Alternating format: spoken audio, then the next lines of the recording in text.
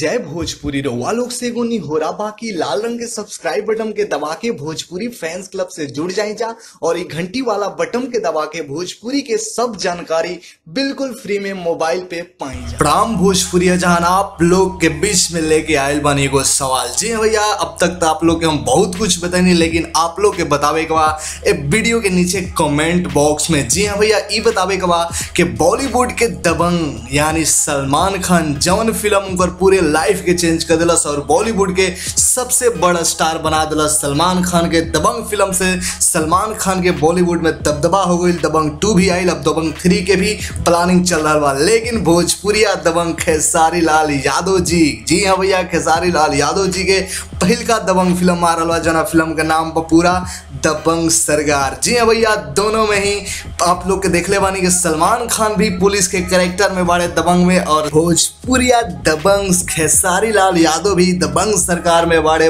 Police के role में। जी हैं भैया, तब आप लोग बताएँ जाके आप लोग के कौन असली दबंग लागत? अरे, आप लोग बताएँ जाके, आपके फेवरेट दबंग के बाद सलमान खान या खेसारी लाल यादव? के बा असली दबंग? के हा, आपके फेवरेट दबंग? नीचे कमेंट बॉक्स में अपन राय दी जाए, इस सवाल के जवाब ज़रूर देम जा। लाइक शेयर करम जा, ज़्यादा से ज़्यादा वीडियो के शेयर करम जा। मिलत अगला वीडियो में, तब तक के लिए चैनल से जुड़ जाए जा। भोजपुरी फैंस क्लब से वीडियो के नीचे दिए गए लाल रंग के सब्सक्राइब बटन के दबा के, घंटी वाला बटन भी दबा दी, ताकि भोजपुरी के सबसे पहले खबर पाई जाए। भोजपुरी रउआ लोग से हो रहा बाकी लाल रंग के सब्सक्राइब बटन के दबा के भोजपुरी फैंस क्लब से जुड़ जाए जा, और एक घंटी वाला बटन के दबा के भोजपुरी के सब जानकारी बिल्कुल फ्री में मोबाइल पे पाई जा।